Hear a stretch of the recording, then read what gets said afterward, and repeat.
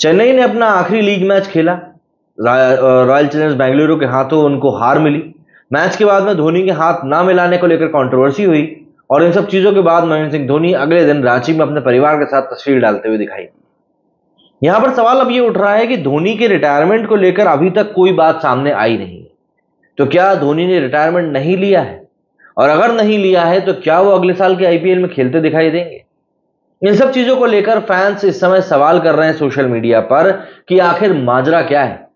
माही के मन में क्या है? हर कोई यही जानना चाहता है।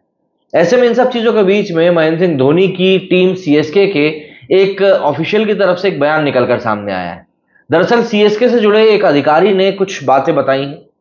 चेन्नई सुपर किंग्स से जुड़े इस ऑफिशियल के मुताबिक धोनी की इस बारे में टीम मैनेजमेंट से बात हो चुकी है। टाइम्स ऑफ़ इंडिया से बात करते हुए सीएसके के सीनियर ऑफिशियल ने इस बारे में इंफॉर्मेशन दी। उन्होंने ये भी कहा कि धोनी को इस बात का दुख है कि वो चपौक पर आईपीएल ट्रॉफी उठाने से चूक गए। आईपीएल 2024 के आखिरी ग्रुप मैच में आरसीबी से मिली 27 रनों की हार के बाद सीएसके प्लेऑफ की रेस से बाहर हो गई। रिपोर्ट के मुताबिक उस हार के बाद धोनी रांची गए हैं और सीएसके के कैंप से घर जाने वाले वो पहले ही शख्स रहे।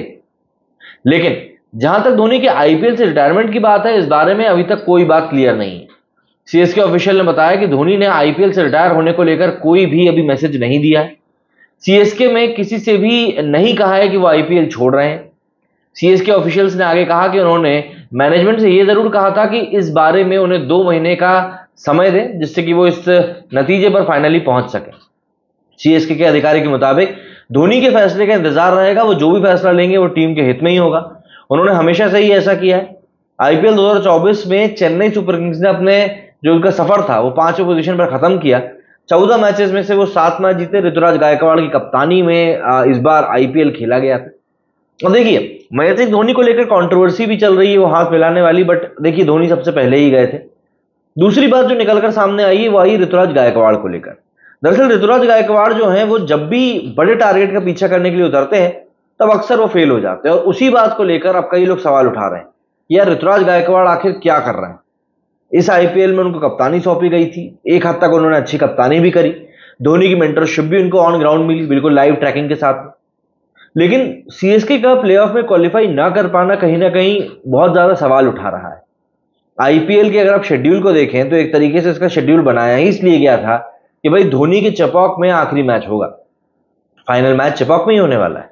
बट धोनी की टीम प्लेऑफ में पहुँच नहीं सकी और काफ़ी सारे सवाल लोगों के जहन में रह गए। प्लेऑफ का सिनेरियो अब क्लियर है। नंबर वन और नंबर टू पे मौजूद है के और सनराइजर हैदराबाद। इनके बीच में पहला क्वालिफायर होगा। पहला क्वालिफायर जीतने वाली टीम फाइनल खेलेगी और जो टीम हार जाएगी, वो दूसरा एलिमिनेटर मैच खेलेगी। पहला एलिमिनेटर मैच जो है, वो राजस्थान रॉयल्स और रॉयल चैलेंजर्स बेंगलुरु के बीच में होगा। इन दो में से जो भी टीम जीतेगी, वो दूसरा एलिमिनेटर खेलेगी और जो टीम हारेगी, वो आईपीएल से बाहर हो जाएगी। एलिमिनेटर टू और क्वालिफायर वन जीतने वाली टीमों के बीच में फाइनल मैच खेला जाएगा। ये सिनेरियो यहाँ पर आईपीएल का बैठ चुका है। पर माही के बारे में क्या कुछ बातें हो रही हैं? माही ने संन्यास लिया है, नहीं लिया है? इसको लेकर अभी हमको शायद दो से ढाई महीना अभी और इंतज़ार करना पड़ेगा। क्या कहना है आप लोग इस बारे में? कमेंट करके ज़रूर बताएँ। मेरे इस वीडियो पर लाते हैं। जय हिंद, जय भारत।